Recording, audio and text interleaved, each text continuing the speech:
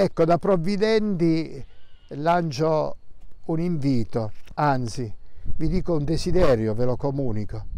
In queste sere di maggio, ogni sera alle ore 21, busserò attraverso questi mezzi di comunicazione alla, alla porta di una famiglia che abita in un comune della nostra diocesi.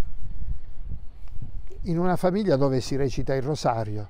Non vado io o non vengo io a recitarlo, ma vengo a pregare con quella famiglia, a pregare insieme a quella famiglia, come ad evidenziare che per noi pastori la famiglia che prega è una risorsa, è un sostegno, ma anche una grande speranza, perché la presenza di Dio irrobustisca la nostra esistenza e la irrori della sua pace e della sua consolazione.